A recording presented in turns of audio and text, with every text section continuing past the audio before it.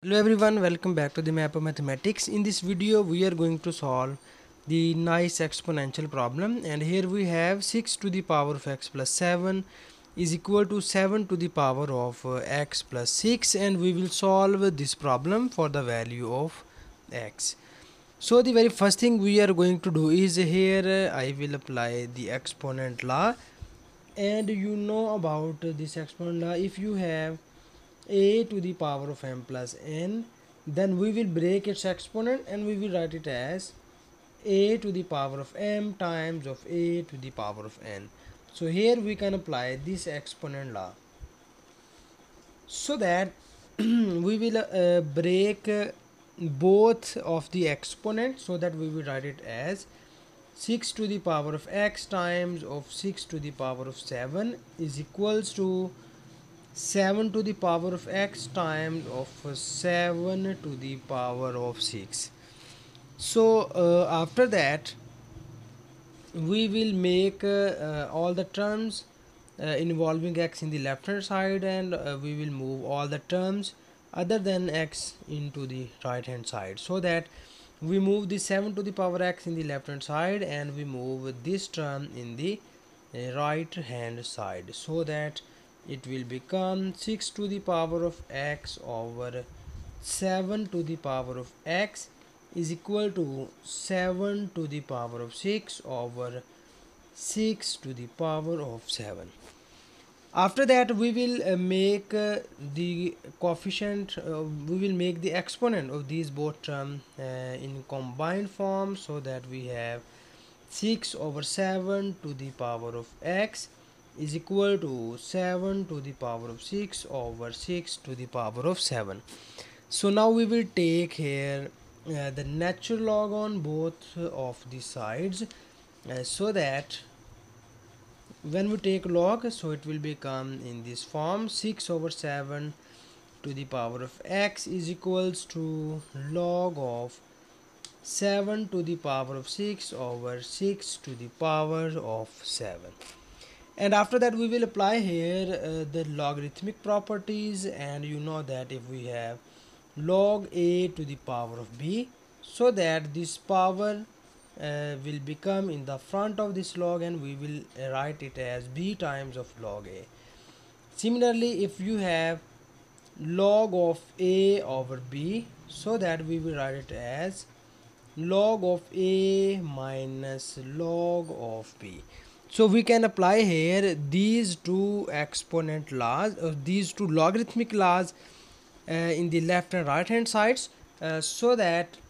in the left hand side we move this exponent in the front of this log and we can write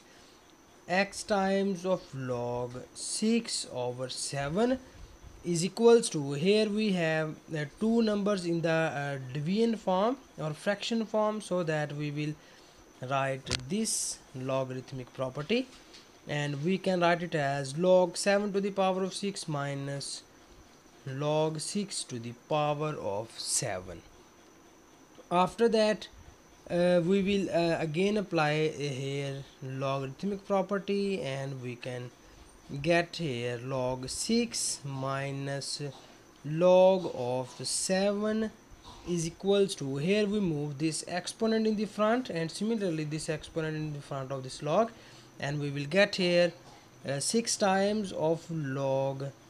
7 minus 7 times of log 6 now we move this term in the